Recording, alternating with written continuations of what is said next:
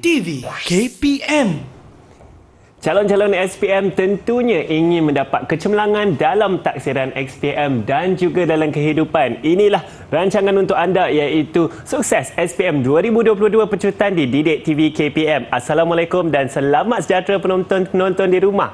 Nama saya Hanif Sean dan mata pelajaran apa yang sama-sama kita nak tengok hari ini tentunya gerontologi asas dan geriatrik. Kita ada guru yang banyak pengalaman nak berkongsi dengan kita hari ini. Nak tahu siapa guru kita? Jom sama-sama kita saksikan saksikan profil beliau.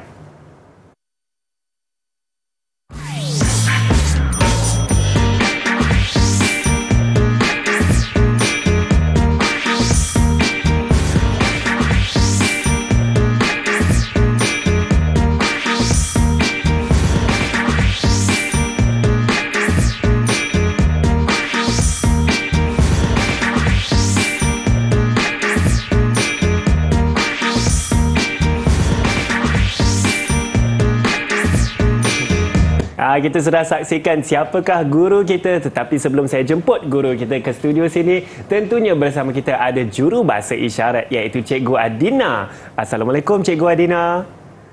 Cikgu Adina, saya rasa Cikgu Adina bersemangat dengan calon-calon SPM kita hari ini eh. Ah, Cikgu Adina juga bersama kita dah tak sabar-sabar ni kita nak belajar. Tentunya bersama kita guru penyampai hari ini ialah Cikgu Wardah. Assalamualaikum Cikgu. Ya, Waalaikumsalam Hanif. Cikgu apa khabar ini Cikgu? Alhamdulillah sihat. Ya. Yeah. Seronok dapat bergandingan dengan Hanif pada hari ini. Alhamdulillah Cikgu kita dapat berganding lagi hari ini Cikgu. Ya, Hanif. Baik Cikgu, dalam mata pelajaran gerontologi asas dan Ya. geriatrik hari ini saya rasa Cikgu banyak nak kongsikan mengenai tips ataupun kemahiran nak menjawab soalan SPM untuk ya, mata pelajaran betul tu ini. Hanif ya. Kerana uh, untuk mata pelajaran ini uh, calon-calon SP- SPM akan menghadapi SPM tak lama lagi, lebih kurang 42 hari saja lagi ya. Oh. Jadi dalam slot inilah kita akan berkongsi pelbagai tips dan juga petua-petua untuk menjawab format peperiksaan SPM. Baik Cikgu, saya rasa calon-calon SPM kita kat rumah tu dah tak sabar-sabar dah. Semua nak cemerlang Cikgu. Boleh kita mulakan pembelajaran kita? Ya, sudah tentu Hanif. Baik, silakan, Cikgu. Okey, terima kasih. Okey, bismillahirrahmanirrahim. Assalamualaikum warahmatullahi wabarakatuh dan salam sejahtera kepada sidang penonton yang dikasihi sekalian khususnya buat anak-anak didik kesayangan cikgu yang mengambil mata pelajaran gerontologi asas dan geriatrik di tiga buah sekolah di Malaysia iaitu di SMK Seksyen 242 Shah Alam, SMK Pengkalan Cepa Kelantan dan di SMK Tasik Utara 2 uh, Tasik Utara 2 Johor Bahru. Sudah tentunya detik-detik dan debaran untuk menghadapi SPM ya se- sedang dirasai oleh calon-calon SPM kali ini. Dan untuk mata pelajaran gerontologi asas juga murid-murid uh, calon-calon akan menjalani peperiksaan pada tarikh keramat. Ya tarikh keramat mereka. Jadi Ya, kita cikgu. akan tahu selepas ini tarikh keramat mereka. Jadi sebelum itu kita imbas sedikit ya tentang mata pelajaran ini iaitu gerontologi asas dan ger- geriatrik iaitu ilmu tentang penuaan dan juga penjagaan perawatan warga emas.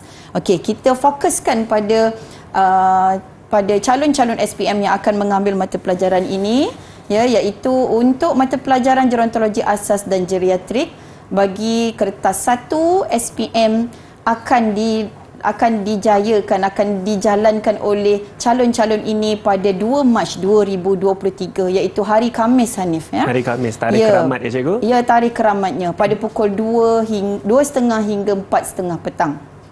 Jadi dalam tempoh masa 2 jam inilah mereka akan me, me, mereka akan menghasilkan ya satu persembahan uh, penulisan terbaik yang akan memberikan jawapan dan kejayaan yang cemerlang dalam SPM 2022 nanti ya. Insya-Allah. Okey. Uh, sebenarnya untuk kertas peperiksaan ini uh, terdapat satu kertas saja ya. Jadi kita lihat secara menyeluruh format kertas gerontologi. Kertas ini mempunyai dua konsep pentaksiran iaitu kertas satu dan kertas dua. Kertas satu merupakan uh, soalan-soalan yang berbentuk ujian bertulis yang mana akan dijalankan oleh calon SPM semasa pada hari pe, pada hari SPM berlangsung Baik. iaitu pada 2 Mac tersebut. Dan kebiasaannya soalan adalah berbentuk pengetahuan dan juga kefahaman dari segi teori, pengetahuan, fakta dan aplikasi. Uh, masa ini diperuntukkan 2 jam seperti yang telah disebutkan tadi dan terdapat uh, kaedah lain pentaksiran yang dijalankan iaitu kertas 2 ya. Uh, kertas dua ini adalah uh, pentaksiran yang berbentuk kerja kursus di mana sepanjang tempoh tingkatan 4 dan 5 dua tahun tersebut calon-calon peperiksaan uh, SPM sebenarnya telah menjalankan uh, latihan kerja kursus ataupun amali yang berkaitan dengan aplikasi nilai, aplikasi kemahiran bagi langkah kerja yang telah dipelajari sepanjang pembelajaran ya. Okey. Jadi seterusnya kita pergi pada format kertas satu. Okey, untuk format kertas satu terdapat dua bahagian iaitu bahagian A dan bahagian B dan bilangan soalannya terdiri daripada bilangan A iaitu 15 soalan yang mengandungi 60 markah dan bahagian B pula 4 soalan yang mengandungi 60 markah. Jumlah keseluruhan ialah 100%. Dan uh, sebenarnya untuk kertas dua tadi ya, uh, Hanif, um, markah yang perlu murid uh, skor untuk kertas dua iaitu amali kerja kursus ialah sebanyak 60 markah. 60 uh, markah. Jadi itu eh? merupakan satu strategi untuk uh, membolehkan calon-calon SPM yang yang mengambil mata pelajaran ini untuk skor mata pelajaran ini dengan skor yang terbaik ya dengan yeah. markah terbaik. Okey, jenis instrumen yang terdapat dalam kertas satu ialah ujian objektif berbagai bentuk dan ujian subjektif. Seterusnya untuk format soalan bahagian A, kita pergi pula pada bentuk-bentuk soalan uh, bahagian A iaitu yang berformatkan soalan berstruktur atau soalan terhad. Dan biasanya soalan yang berstruktur terhad ini adalah uh, pengetahuan dan juga uh, kefahaman yang terdapat dalam buku teks. Jadi sebenarnya murid-murid calon-calon ini telah mendapat satu advantage ya, ya kemudahan cikgu. untuk mereka memahami uh, kandungan yang terdapat dalam buku teks dan untuk mereka mendapat markah yang sangat bagus, sangat cemerlang ya. Okey, uh, bahagian A um, calon perlu menjawab dalam tempoh masa 80 minit uh, dan juga uh, markah mengikut soalan. 80 minit itu merupakan cadangan masa yang perlu dijawab oleh calon ya. Okey, seterusnya untuk soalan bahagian B terdapat empat soalan soalan subjektif, satu soalan uh, mengandungi 10 markah bermakna ada 40 markah dalam bahagian B dan juga respon terbuka serta terdapat juga uh, soalan-soalan yang berkaitan dengan isu-isu semasa yang berkaitan dengan penjagaan warga emas. Okey, ini ini pula ialah modul-modul pembelajaran yang dipelajari oleh calon-calon sepanjang tingkatan 4 dan 5. Sepanjang berada di tingkatan 4, mereka mempelajari modul 1 mengenai pengenalan kepada gerontologi asas geriatrik, proses penuaan, persekitaran mesra dan selamat warga emas serta keperluan asas fizikal warga emas. Seterusnya untuk tingkatan 5, ha, calon ini mempelajari tentang perkhidmatan warga emas yang terdapat di Malaysia, saringan dan penilaian asas warga emas, pengurusan geriatrik dan kita terapkan juga projek keusahawanan sebagai hala tuju mereka menjadi seorang usahawan ya. Okey dan ini adalah beberapa tips ataupun persediaan secara fizikal eh, iaitu uh, calon perlu menyiapkan uh, diri mereka dengan persediaan mengulang kaji yang konsisten, bersungguh-sungguh membuat latih tubi, memahami setiap langkah kerja kerana gerontologi ini mengandungi uh, amali-amali kompetensi yang telah mereka pelajari yang mengandungi langkah kerja yang perlu mereka faham dan hafal. Menyediakan alat tulis berbentuk kalkulator dan juga uh, pensel warna serta membaca soalan dengan teliti, menggaris kata kunci yang berkaitan dan yang penting ialah jawab semua soalan yang terdapat dalam bahagian A dan bahagian B dalam tempoh masa 2 jam. Ha, InsyaAllah sekiranya semua jawapan telah dijawab, calon-calon akan memperoleh keputusan yang terbaik dan se dan pastinya A+ yang kita idam-idamkan. Saya pasti juga cikgu A plus yang kita yeah. idam-idamkan. Lah seperti yang cikgu Waida telah kongsikan ingat balik uh, ulang kaji balik segala modul yang ada tu cikgu yeah, kita betul. juga sudah fahami struktur kertas soalan. Cikgu Waida juga bagi tips-tips untuk persediaan kita untuk SPM nanti. Eh. Baiklah sekarang kita akan berehat sebentar. Ingat balik apa yang cikgu Waida cakap. Terus bersama kami di Sukses SPM 2022 Pecutan Didik TV KPM. Didik TV KPM Didik TV KPM Hai semua, anda sekarang sedang menonton Sukses SPM 2022 Pecutan di Didik TV KPM. Rancangan ini khas untuk calon-calon SPM sama-sama kita ingin mengejar kecemerlangan mata pelajaran yang kita kupas hari ini bersama cikgu kita iaitu Cikgu Wardah ialah Gerontologi Asas dan Geriatrik. Uh, cikgu Ya, dalam cikgu. dalam segmen ini kita akan memberikan fokus kepada uh, menjawab soalan bahagian A cikgu untuk Ya kertas betul. ni. Ya betul Hanif ya. Baik, cikgu. Ah, kita akan memecut ya untuk slot yang kedua ini Ah. untuk kita fokuskan pada soalan-soalan yang berkaitan dengan bahagian A ya. Baik, cikgu. Baiklah. Uh, sebenarnya terdapat beberapa bentuk uh, kategori soalan yang terdapat dalam bahagian A ya.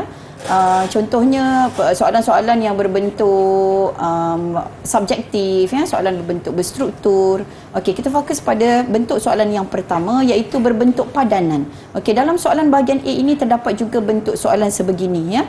Calon dikehendaki untuk memadankan. Diberi soalan dan calon memadankan uh, kategori dengan ciri bagi uh, soalan penyataan soalan yang diberikan ya. Dalam contoh ini Uh, soalannya uh, bertanyakan tentang dua jenis kategori piramid penduduk. Jadi terdapat dua jenis piramid penduduk iaitu piramid regresif dan piramid progresif. Jadi calon dikehendaki memadankan kedua-dua piramid ini dengan kategori ataupun ciri.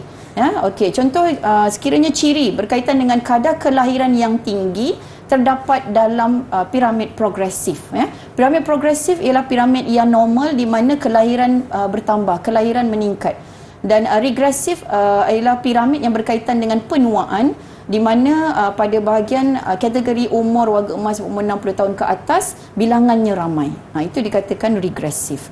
Okey, peningkatan jangka hayat yang tinggi bermakna lebih ramai bilangan warga emas. Sudah tentu jawapannya ialah Hanif Regresif, A, ya, regresif. Okey, seterusnya bilangan penduduk muda yang ramai. Okey, tadi kita katakan bilangan penduduk ialah kategori piramid progresif. Okey. Jadi dalam piramid tersebut kita boleh dapat uh, lihatlah ya dia punya lengkuk uh, piramid. Okey, seterusnya untuk soalan kedua bentuknya ialah pengkelasan. Calon dikehendaki mengkelaskan ya uh, kategori soalan yang dikehendaki. Jadi dalam soalan ini uh, ditanyakan mengenai jenis makanan yang diambil. Yang sesuai diambil untuk warga emas Okey, diberikan uh, senarai menu atau senarai uh, jenis makanan, ikan siakap rebus, uh, sedap-sedap nampaknya, sayur sup kubis, nasi putih, tom yum, spaghetti. Jadi calon dikehendaki memilih dan mengkelaskan makanan mengikut nutrien. Jadi Ya, terdapat uh, soalan uh, yang bertanyakan tentang nutrien karbohidrat dan protein. Jadi calon mengkelaskan dengan menuliskan abjad-abjad yang tertera pada bahagian soalan tersebut. Jadi karbohidrat kita pilih Ah, yang mana satu makanan berbentuk karbohidrat tu? Kalau Hanif? saya cikgu saya pilih nasi putih Ya, dan nasi putih dan spaghetti, juga cikgu. ya spaghetti, betul Ya. ya. Okey dan protein pula makanan yang mengandungi Yang ada protein seperti ikan siakap ya rebus ikan siakap dan, juga tom yum udang. Ya, udang tom yum udang eh. Okey, jadi berbentuk pengkelasan begini soalan ini perlu dijawab dengan tepat ya. Okey, seterusnya uh, bentuk soalan yang ketiga ialah calon uh, menjawab dengan menandakan betul atau salah atau mungkin juga calon dikehendaki untuk menuliskan ya ejaan BETUL atau SALAH pada penyataan yang betul atau salah ya. Okey, jadi untuk uh, soalan seterusnya diberikan contoh etika perilaku komunikasi lisan warga emas ya. Uh, jadi calon dikehendaki menandakan right atau pangkah ya tanda right atau pangkah. Jadi untuk contoh soalan pertama, duduk bersemuka dengan warga emas adakah penyataan tersebut etika perilaku komunikasi lisan bersama warga emas yang betul? Ya, Saya ya, rasa perlu tu, cikgu. Ya, betul. Memang perlu sangat ya. Kita ber uh, bersemuka bersama warga emas ketika berkomunikasi. Seterusnya memastikan mata penjaga dan warga emas berada pada aras yang sama. Ya juga ya merupakan etika yang betul. Menyebut perkataan dengan terang dan nada suara yang tinggi. Adakah sewajarnya kita uh, meletakkan uh, kriteria tersebut untuk etika perilaku? Saya Agak rasa, keliru namun eh, salah ya. Nah, ya, nada cikgu. suara yang tinggi bukan cara berkomunikasi bersama warga emas tetapi dengan cara suara yang jelas. Jelas. Ya. ya. Kemudian seterusnya memberi banyak arahan dalam satu masa juga uh, tidak memberikan kesan uh, perilaku komunikasi yang bagus untuk warga emas ya. Memanggil nama dan memberi masa kepada warga emas untuk memberikan tindak balas. Jadi calon dikehendaki menandakan tanda right dan tanda pangkah. Sekiranya kesemua jawapan diberikan uh, dengan uh, betul, uh, markah yang sepenuh akan diperolehi oleh calon. Na- namun jika calon tidak mematuhi arahan tersebut, ya, katalah dia tulis SALAH pada uh, ruang jawapan, maka uh, calon dianggap tidak menepati arahan dan boleh dianggap tidak mendapat markah. Ya. Jadi kena Hmm, berhati-hati dengan cikgu. Betul. soalan. Ha, itulah yang akan uh, apa mungkin calon cuai untuk menjawab ya jadi kena berhati-hati. Baik. Seterusnya bentuk soalan seterusnya menyusun langkah kerja dengan menulis abjad A B C D E ya. Jadi calon uh, dikendaki untuk me, me, mencatat ya ataupun menandakan kata kunci pada soalan tersebut ya iaitu dalam soalan ini uh, Raja Empat menunjukkan sebahagian langkah kerja mencuci rambut warga emas. Ha, ini adalah sebahagian daripada amali yang dijalankan oleh calon ya iaitu mencuci rambut warga emas. Tapi dalam bengkel calon mencuci uh, rambut rakan. Ha, sangat menarik ya. Okey, dan soalannya uh, langkah kerja sebelum uh, mencuci rambut telah dilakukan ya menerusi soalan tersebut. Jadi calon dikehendaki mengenal pasti langkah kerja sebelum yang dilakukan ya. Okey, diberi penyataan langkah kerja, jadi calon perlu membaca langkah kerja tersebut dan menyusun langkah kerja sebelum dengan betul ya. Okey, penyataannya uh, meletakkan satu tuala mandi di atas dada, kemudian meletakkan besen shampoo, mengalih bantal, besen menadah air diletakkan di bawah katil dan mengalas sebahagian kepala dengan plastik pakai buang atau tuala mandi. Jadi kita susun langkah kerja ini. Kita perhatikan dulu langkah satu ya langkah satu. Jadi agak-agaknya yang mana langkah satu? Calon perlu memilih ya uh, jawapan mana untuk penyataan langkah kerja yang tepat. Jadi sekiranya amali telah dilakukan amat mudah ya amat mudah di uh, dipilih dan disusun oleh uh, calon kerana ya, mereka cik. melaksanakan amali tersebut di dalam kelas ya. Jadi daripada soalan ini kita dapati langkah kerja pertamanya ialah langkah kerja uh, iaitu C. mengalih bantal ke bahagian bahu warga emas tersebut ya. Jadi kita melakukan aktiviti ini pada peringkat permulaan dalam langkah kerja sebelum. Okey, seterusnya agak-agaknya yang mana ni? Ha, okey, sama ada A, B, D, E. Ha, meletakkan ha. tuala dulu atau meletakkan besen, mengalas bahagian kepala. Ha, agaknya jawapan yang, yang mana? Jadi jawapannya ialah kita berikanlah ya. Langkah keduanya ya, langkah kedua A ialah A ya, iaitu mengalaskan. Kita mengalaskan uh, meletakkan mengalaskan satu tuala, meletakkan satu tuala mandi di atas dada atau badan warga emas ya. Okey, kemudian seterusnya kita akan uh, mengalaskan bahagian bantal. Yeah. Ya. Okey, langkah tiga E tadi. Langkah tiga E ialah yeah. mengalas bahagian mengalas bawah bahagian kepala bantal dengan plastik kalis air supaya yeah. tidak basah dan langkah kelima B meletakkan besen shampoo meletakkan di bawah besen kepala. shampoo di bahagian bawah katil yeah. ya supaya air kotor dapat dialirkan keluar. Ya, cikgu. Ha, okey. Itu ialah sebahagian amali yang dijalankan di bengkel kami. Ya. Okey, terdapat juga uh, format soalan berbentuk menyusun langkah kerja dengan menulis 1, 2, 3, 4. Okey, diberikan grafik ini iaitu gambar. Gambar apakah tersebut? Ialah gambar mesin tekanan darah digital. Jadi mesin ini kita jalankan amali untuk mengambil bacaan tekanan darah ya, sebagai penilaian kesihatan. Okey, soalannya berdasarkan penyataan langkah kerja susun. Susunkan nombor 1, 2, 3, 4 dan 5. Jadi kita galakkan calon untuk menandakan ya, highlight ataupun menerangkan, menggaris ya 1, 2, 3, 4 supaya mereka tidak terlupa. Okey, jadi kita susun yang mana satu agaknya langkah kerja pertama untuk mengambil bacaan tekanan darah? Saya rasa yang pertama ialah melipat lengan baju dan pasangkan ya, pundi. sangatlah tepat. Ya, cikgu. Nanti kita tengok jawapannya ya. Agak suspend di situ. Okey. Yang ya, uh, ya oh, betul. Nombor dua, nah, nombor dua pula ya saya, jawapan dah keluar. Sebenarnya saya nak teka iaitu tu ya, cikgu tadi. Ya, betul tadi melipat lengan melipat lengan baju uh, baju warga emas dan memasangkan pundi curve ya. Yeah. Okey, seterusnya, seterusnya kita dah terberi jawapan terberi tadi iaitu membalut pundi curve ya di atas siku right. untuk mendapatkan bacaan yang tepat. Okey, langkah yang ketiga nombor tiga, dengan menyambung urutan nombor ketiga. Yang atas sekali Iaitu ia menyambung, menyambung tiup pundi tiup curve pundi curve pada, pada alat, alat digital, digital untuk mengukur tekanan. bacaan dan tekan butang on. Seterusnya Bawah, kita menekan, menekan butang, butang off. off untuk mendapat bacaan ya. Yang kelima yang tentunya kelima, yang tertinggal situ mencatat, juga mencatat ya, bacaan ini sangat darah. penting ya kerana kita takut penjaga lupa dan bacaan tekanan darah perlu dicatat selepas menyaring atau menilai kesihatan ya. Okey, so seterusnya kita pergi pada uh, bentuk soalan yang keenam iaitu terdapat juga bentuk soalan begini ya iaitu melengkapkan jawapan pada ruang jawapan.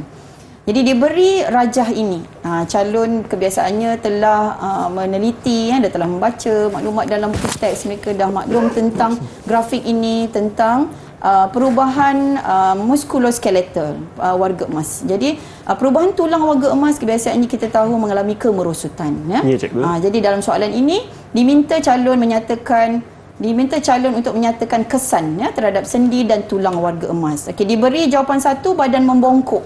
Kita pergi pula pada uh, kesan seterusnya. Ya ketinggian warga emas berkurangan kerana uh, warga emas mengalami ketupatan tulang yang berkurangan ya. Jadi warga emas secara fizikalnya nampak lebih rendah kerana kemerosotan tulang. Seterusnya tulang mudah patah ya. Tulang warga emas juga mudah reput dan uh, retak ya, mudah mudah untuk mengalami kecederaan dan seterusnya sakit sendi. Okey, ini adalah contoh jawapan yang calon boleh kemukakan dan boleh dapat 4 markah. Okey, kemudian seterusnya kita pergi pada Okey ya dan seterusnya Baik. nanti uh, Hanif kita akan pergi pada bahagian B ya. Ya, saya Okey. pasti banyak lagi cikgu ingin kongsikan ni. Saya rasa menarik seperti yang cikgu Wardah telah pesan tadi. Kita baca soalan betul-betul. Ya, betul. Kita gariskan kata kunci dari soalan tu cikgu supaya Ya. kita jawab menepati kehendak Menepati soalan. kehendak ya. Sebagai soalan. contoh, kalau perlu tanda tik, kita tanda tik. Jangan tulis betul. B-E-T-U-L. Ya. Ya, cikgu? Baiklah, saya pasti cikgu Wardah banyak lagi nak kongsikan dengan murid-murid calon SPM di rumah juga. Banyak dah kita belajar daripada apa yang cikgu Wardah telah kongsikan kepada kita. Kita akan berehat sebentar. Jangan ke mana-mana tau. Terus bersama kami di Sukses SPM 2022 Pecutan di mana? Didik TV KPM. Didik TV KPM Didik TV KPM Calon-calon SPM inilah rancangan untuk anda kerana sama-sama kita ingin mendapat A+ dalam SPM kita ya. Hai semua, anda sekarang sedang menonton sukses SPM 2022 Pecutan di Didik TV KPM dan bersama saya ialah Cikgu Wardah dan Cikgu. Dalam mata pelajaran Gerontologi Asas dan Geriatrik dalam Ya. segmen ini, Cikgu akan memberikan fokus kepada bahagian B mengenai pengiraan kos dan lakaran Cikgu. Ya, betul ya Hanif. Ya. Ya. Jadi kita teruskan pecutan kita, Ha, kita ya untuk bahagian B. cikgu. Jadi sebenarnya bahagian B ini berfokus pada isu ataupun uh, masalah yang berlaku ya iaitu uh, masalah berlaku pada warga emas dan bagaimana uh, uh, calon-calon menyelesaikannya dalam bentuk menjawab soalan berdasarkan pada pelaksanaan amali yang telah dijalankan di dalam bingkil ya. Jadi kita boleh lihat ya contoh. Yang pertama kita berikan bentuk soalan yang berbentuk pengiraan. Ha, mereka juga perlu mengira ya kerana kita terapkan kepada calon-calon ini untuk mengetahui kos bagi setiap perkhidmatan uh, dari amali yang mereka jalankan. Jadi jika kita lihat pada soalan ini ya Uh, untuk uh, situasi pertama kita berikan nama Puan Aminah ha, hmm. seorang jururawat Seorang jururawat yang menjalankan perkhidmatan mencuci gigi warga emas dari rumah ke rumah. Jadi dilampirkan di sini jadual uh, untuk kos ya, kos-kos bahan yang terlibat dalam mencuci gigi. Okay, kita ada berus gigi elektronik. Ha, kita moden kan, kita guna elektronik lah untuk warga emas. Ya, cikgu. Ubat gigi, cawan plastik, tisu dan juga unjuran kuantiti serta jumlah. Ya, ha, kos sampingannya ialah RM5 dan kos upah RM10. Jadi daripada jadual tertera jumlah ya uh, berus gigi elektronik RM12 kosnya, ubat gigi RM2, cawan plastik RM1.50, tisu RM1.50 ya. Okey, seterusnya soalan. Okey, berdasarkan pada soalan tersebut, jika Puan Aminah mencuci gigi lima orang warga emas dalam sehari, ha, jadi berapa agaknya kos eh, yang perlu uh, dibiaya ataupun dikeluarkan oleh seorang warga emas? Ditanyakan soalan mengenai kos bahan, kos upah, ya. Jadi jadual tersebut, uh, jadual yang telah dipaparkan tadi ialah jadual um, seorang warga emas. Jadi kita lihat, kita senaraikan kos bahan uh, pada daripada jadual dan kita perlu kira semua kos bahan mentah daripada jadual tersebut. Okey, kita keluarkan satu persatu tadi ya. Ya, cikgu. Okey, bayaran untuk um, Berus apa, gigi berus gigi ya, ubat RM12, gigi. RM2, Ya. RM1.50, RM1.50, RM3, jumlahnya ialah RM20 dan kemudian kita dalam situasi soalan terdapat lima orang warga emas yang diuruskan dalam sehari. Jadi sudah tentu RM20 kita perlu darab dengan lima untuk warga emas dan jumlahnya ialah RM100. Seterusnya Ya, ditanyakan, okey sekiranya uh, kos bahan ini dapat dijawab dengan lengkap ya oleh calon, maka mereka layak mendapat dua markah. Namun sekiranya ada langkah yang tertinggal, kita akan tolak ataupun mungkin calon tidak memperoleh markah. Ya, Sayang sayanglah rugilah betul, ya. Okey, seterusnya untuk kos upah. diberi dalam uh, jadual ya kos upah uh, berapa ringgit ya tu Sepuluh- Hanif? sepuluh ya, ringgit juga kos ringgit. upah? Ya betul. Tapi kita ada formula untuk mengira kos upah iaitu KU kes, uh, kos upah, M masa, P ialah uh, pekerja. Uh, tapi dalam jadual tersebut kita tidak disebutkan uh, berapa orang pekerja. Jadi kita anggap seorang sahaja pekerja yang menguruskan warga emas tersebut dan dalam uh, pengiraan mungkin berlaku perubahan kerana terdapat bilangan warga emas ya. Jadi kita uh, lakukan langkah kerja pengiraan iaitu RM10 darab 1 darab uh, kosong pekerja ya darab uh, 10 ya dan RM50 ya RM50 itu ialah uh, kos upah untuk 5 orang warga emas ya. Okey. Seterusnya soalan seterusnya ya. Ya cikgu, Uh, silakan. kos perkhidmatan uh, bahagian C iaitu nombor C uh, kos perkhidmatan sekiranya 20% keuntungan diambil. Okey, berapa agaknya kos perkhidmatan sekiranya 20% kos diambil untuk mencuci gigi 5 markah ya. Jadi uh, formulanya ialah 20 per 100 dan kita darabkan dengan kos bahan tambah kos upah tambah kos sampingan tambah kos untung. Di sini berlaku dua kali pengiraan ya, pengiraan proses pengiraan. Jadi kita lihat bagaimana agaknya untuk menulis ya 20 per 100 kita masukkan uh, format untuk keuntungan ya 20%. Kemudian kos bahan kita dah kira tadi iaitu RM100, cikgu. RM50 ialah kos Kos upah, upah kita. ya Ya. kos upah dan KS ialah kos sampingan. Di mana kita nak dapat kos sampingan tadi Kos telah sampingan. dinyatakan pada awal jadual iaitu bernilai berapa ringgit tadi? RM5. Lima ringgit. Jadi lima ringgit tersebut kita perlu darab dengan lima iaitu lima orang warga emas. Ya, kemudian baru kita boleh selesaikan untuk mendapat kos keuntungan. Ha, bagaimana agaknya yang berlaku prosesnya? Ya, kita uh, lakukan langkah ini ya. 20 per 100 darab dengan 175 iaitu jumlah yang telah ditambahkan daripada jumlah dalam kurungan tersebut dan jumlahnya ialah RM35.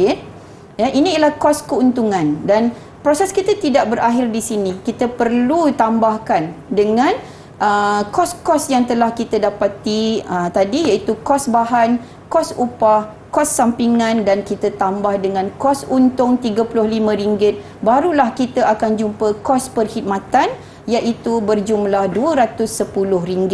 Jadi ini ialah kos yang perlu dibiaya oleh uh, warga emas ataupun penjaga warga emas sekiranya ingin mendapatkan khidmat uh, Puan Aminah untuk mencuci gigi ya. Uh, jadi ini untuk lima orang lah ya.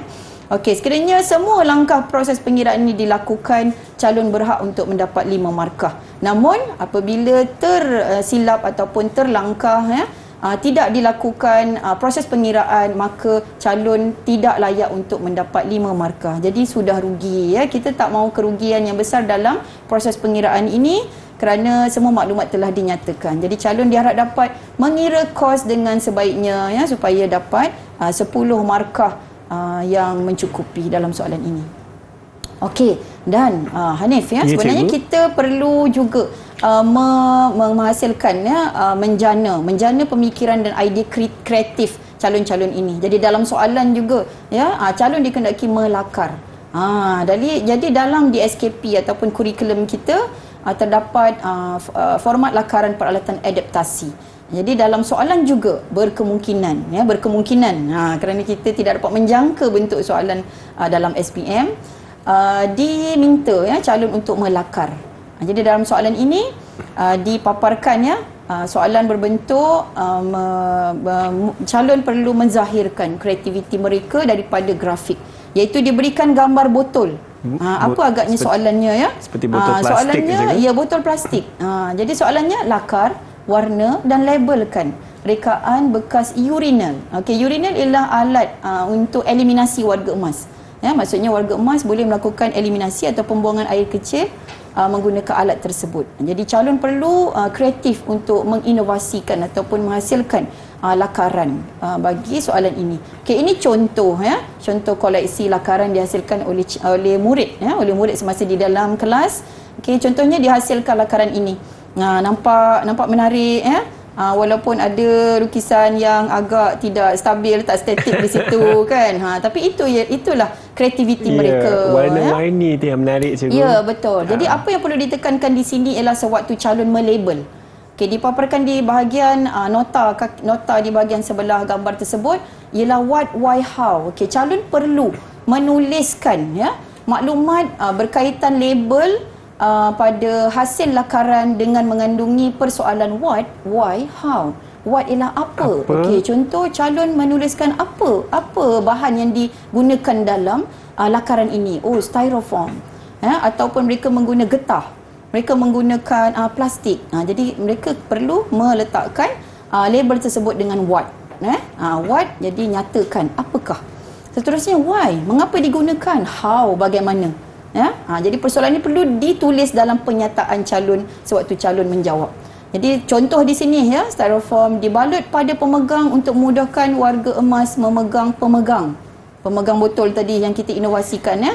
Okey, seterusnya span dibalut. Ha, terdapat span pada bahagian pemegang agar lebih tebal supaya warga emas dapat menggenggam. Ya, kemudian Tak terdapat terlepas ya, cikgu? Ya, tidak terlepas sebab botol ini kita reka eh, kita Ya. hasilkan ciptaannya. Seterusnya terdapat bukaan pada botol yang ditebuk. Ha, sangat kreatif ya.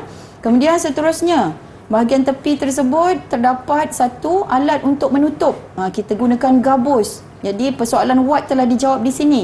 Why, how untuk menutup bukaan bawah agar uh, air ataupun cecair tidak tumpah ya.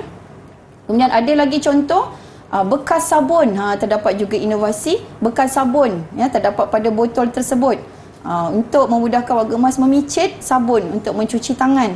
Dan yang terakhir s- uh, terdapat skru untuk melaras bukaan dan penutup botol semasa digunakan. Jadi mereka menjawab what, why, how? untuk memperoleh markah. Dan lakaran ini mestilah lakaran yang telus ya maksudnya lakaran yang menghasilkan objek yang ditanya dalam soalan.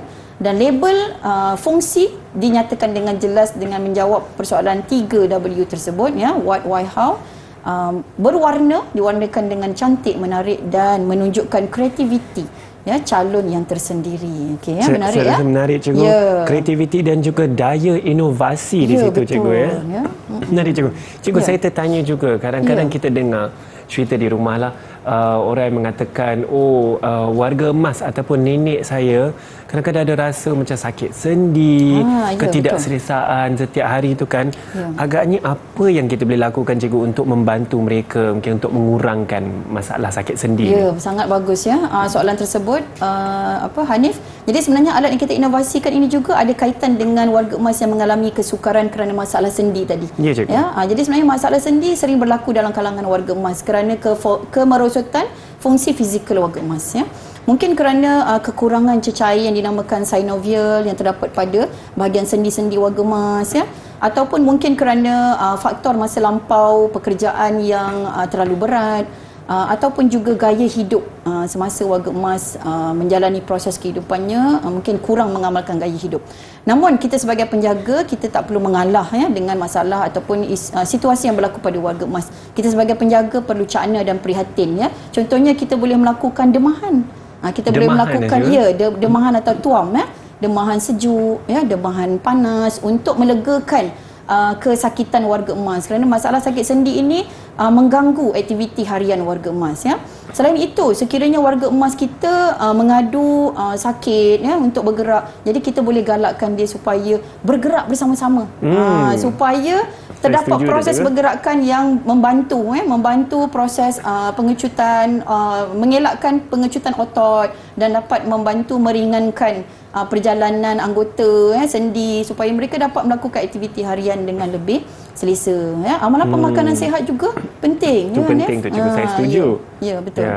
Nak menarik cikgu sebab saya- setuju dengan apa yang cikgu katakan sebab sebagai seorang ahli fizioterapi juga kita selalu uh, menggalakkan warga emas itu bergerak. Uh, sebagai contoh kalau untuk melakukan kerja-kerja harian di rumah ke yang tidak terlalu berat tapi Ya. kita boleh lakukan sama-sama. Ya, Ah, betul, so ya. sendi bergerak, Sendi bergerak. Uh, uh, pergerakan darah juga di dalam badan yeah. dan juga kita mengeratkan hubungan yeah, juga. Sudah di pasti, situ. sudah tentunya. Baiklah cikgu. Ya? Okay. Saya rasa sangat menarik jawapan cikgu tu saya suka dan kita akan berehat sebentar ya. Banyak lagi tentu yang cikgu Wardah ingin kongsi bersama kita di mana di Sukses SPM 2022 Pecutan di Didik TV KPM.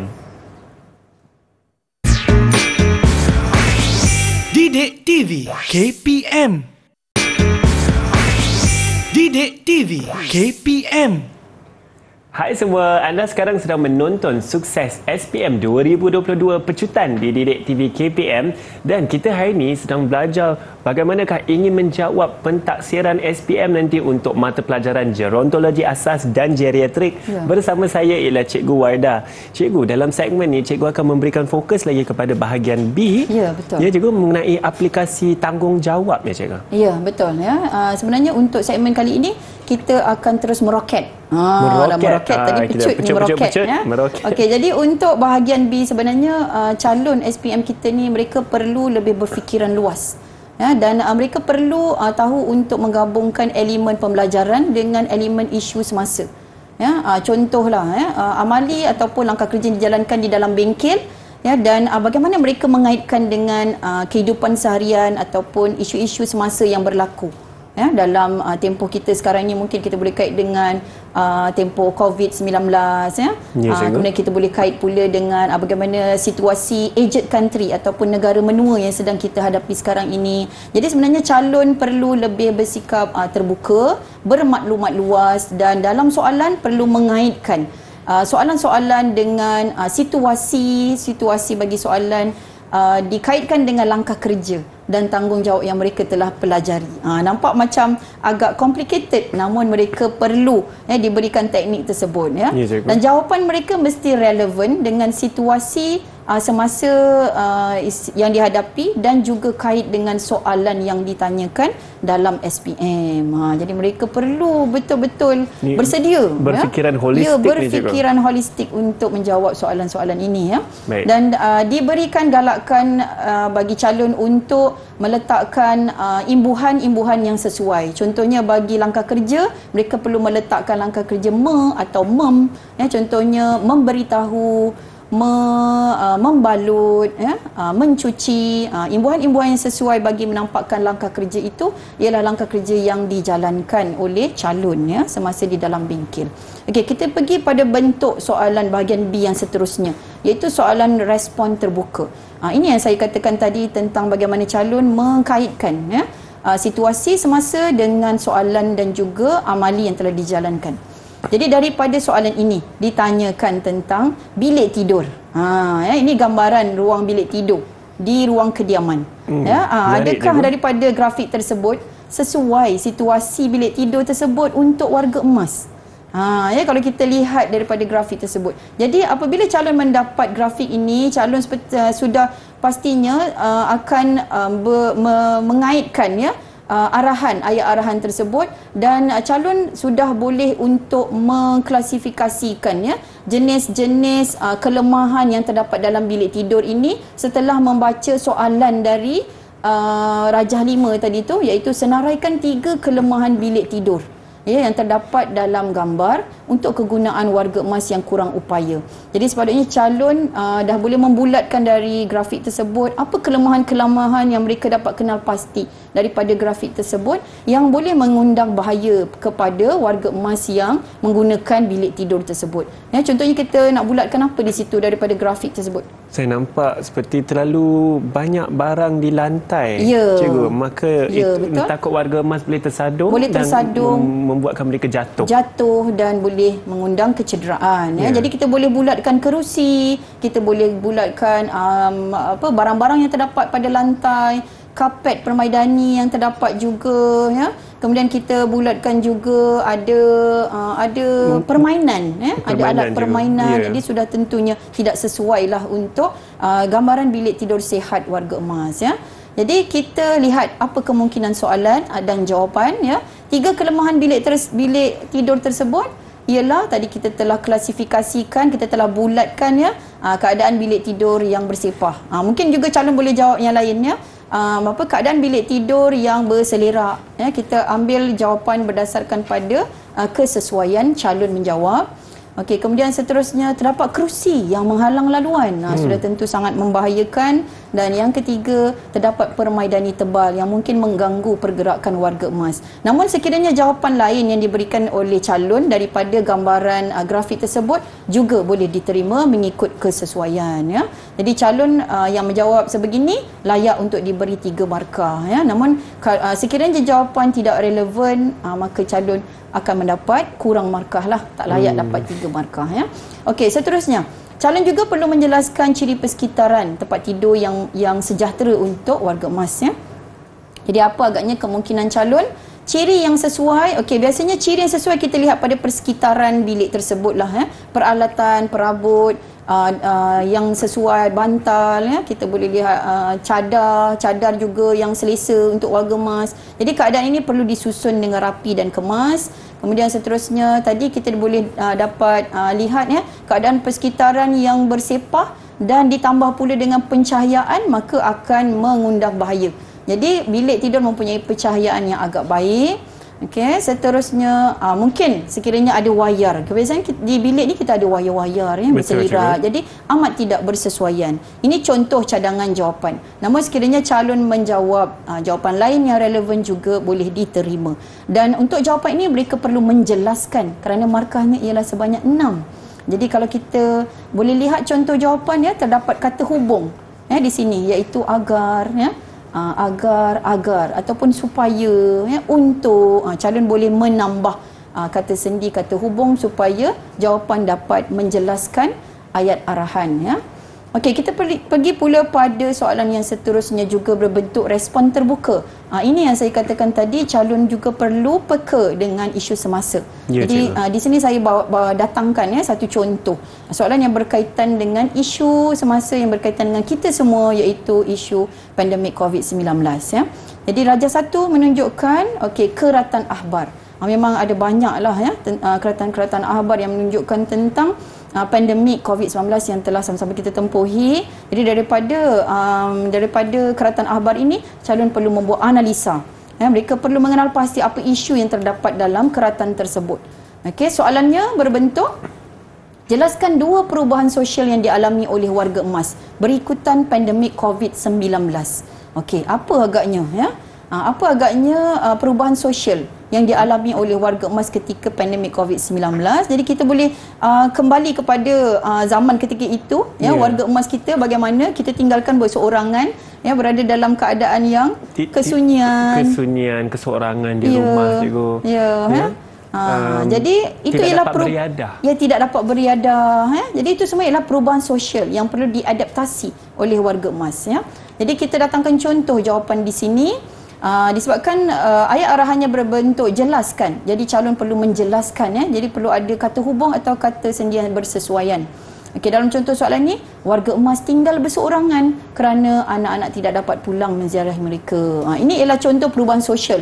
Ya, perubahan sosial ialah perhubungan warga emas bersama masyarakat sekeliling atau bersama dengan orang lain ya. Contoh jawapan kedua, selain anak-anak tidak pulang, warga emas juga tidak boleh bersosial bersama jiran tetangga mereka yeah. kerana aktiviti surau tak dapat dijalankan, ya, kenduri kendara tidak dapat dijalankan. Jadi menyebabkan warga emas juga berasa kesunyian ya uh, kerana tidak ada uh, sokongan sosial bersama uh, masyarakat. Okey, kemudian soalan yang kedua. Soalan kedua ada kaitan dengan soalan uh, pertama ya. Berdasarkan jawapan pada satu A dan B senaraikan tiga tindak balas kesan ke atas fisiologi. Agak-agak sekiranya berlaku perubahan sosial begitu kepada kita ya. Uh, contohnya yeah, kita berseorangan sunyi, tiada teman. Apa agaknya perubahan yang berlaku dalaman ya iaitu fisiologi kita. Ha, apa kalau agaknya? Yang saya tahu juga kalau kita kurang bergerak, ya. maka juga susah sukar kita nak buang air juga sebenarnya. Ah, ya betul. Ha. Memang tepat sekali. Ya. Hmm. Itu ialah perubahan yang kita kata uh, fisiologi, fisiologi. Ya, Hanif uh, iaitu apabila uh, perubahan luaran berlaku dalaman tubuh badan seseorang juga akan um, akan dikesan ya terkesan. Uh, contohlah ya tadi Hanif katakan tentang sukar air besar ya. Jadi mungkin juga warga emas kurang selera makan, sedih kan. Yeah. Ha, kemudian seterusnya tak dapat tidur lena kerana mengenangkan ha, keseorangan ya, dengan ya, warga emas sedih, lagi lah. Ya. Jadi apabila berlaku keadaan sedemikian maka akan menyebabkan terganggu segala sistem fungsi, uh, fungsi fisiologi, jantung berdegup, mungkin warga emas boleh demam, sistem imuniti badan berkurangan. Jadi ada banyak contoh uh, jawapan yang boleh dikemukakan oleh calon ya. Namun calon perlu uh, menulis mengikut uh, kriteria jawapan yang tepat ya untuk mendapat tiga markah. Saya berikan jawapan lebih ha, supaya calon dapat cadangan idea yang lebih ya. Okey, soalan ketiga, cadangkan tiga cara komunikasi jarak jauh. Ha, ini kita lakukan rasanya ya semasa hmm. pandemik COVID-19. Apa agaknya kenangan kita sewaktu berlaku peristiwa ini? Panggilan video ha, panggilan video dengan kawan-kawan ya. ibu bapa. Ha, ya, kemudian panggilan telefon, hari-hari telefon ya ibu bapa di kampung, kemudian menghantar email ada yang dari jauh, Skype juga. Ha, ada pelbagai cara. Ha, ini semua adalah ha, berdasarkan pada pengalaman dan mereka kaitkan isu semasa dengan ha, langkah kerja dan juga uh, tanggungjawab ya berdasarkan soalan uh, SPM 2022 ya. Okey jadi uh, itu itu ialah paparan ke bahagian A bahagian B. Diharap calon-calon dapat uh, menjawab SPM 2022 mata pelajaran gerontologi asas geriatrik dengan sukses ya dengan jayanya. Uh, dan uh, calon akan dapat membuktikan ya segala usaha 2 tahun akan dapat uh, memperoleh A+. Ya? Uh, A+, jangan lupa janji kita pasti A+, dalam mata pelajaran gerontologi asas dan geriatri. Saya ya? suka tu cikgu. Kita, ya, kita impiannya mesti tinggi tu. Saya ya, setuju ya, juga. Cikgu, boleh kita dapatkan rumusan tentang pembelajaran kita hari ini dalam mata pelajaran gerontologi asas dan geriatri? Okey, baik secara uh, rumusannya ya, apa yang perlu uh, calon uh, lakukan sebagai persediaan yang uh, mencukupi bagi menghadapi peperiksaan ini ialah uh, calon perlu uh, melakukan latih tubi ya, latih tubi secara uh, berterusan istiqamah ya. Kemudian calon juga perlu menggarisi kata-kata kunci yang terdapat dalam soalan, kata kunci yang terdapat dalam buku teks ya supaya dapat membantu dan seterusnya memang tak lain tak bukan usahalah ya membaca, menghafal, memahami ya uh, isi kandungan yang terdapat dalam mata pelajaran ini. Dan percayalah anak-anak ya mata pelajaran ini bukan setakat mata pelajaran yang perlu kita pelajari tetapi juga boleh kita aplikan, aplikasikan kepada orang lain khususnya kepada uh, ibu bapa insan tersayang yang ada dalam kehidupan kita. Dan kita manfaatkan ilmu ini untuk kegunaan masyarakat dan komuniti ya. Mudah-mudahan diberkati dan mendapat ganjaran daripada Allah ya atas usaha bakti anak-anak kepada semua insan yang bergelar warga emas. Ha, saya setuju tu cikgu itulah rumusan yang terbaik di situ. Eh, baiklah dengan itu kita mengucap, mengucapkan ribuan terima kasih kepada guru penyampai kita iaitu cikgu Wardah. Terima ya, kasih banyak-banyak hari ini cikgu. Hani. Kepada juru bahasa isyarat kita juga cikgu Adina. Terima kasih kerana bersama kami hari ini. Kepada calon-calon SPM yang sedang menonton seperti yang cikgu Wardah katakan, kita impikan A+ insya-Allah kita akan dapat. Nama saya Hanif Sean. Insya-Allah kita jumpa lagi di mana? Sukses SPM 2022 pecutan di Didik TV KPM. Bye semua.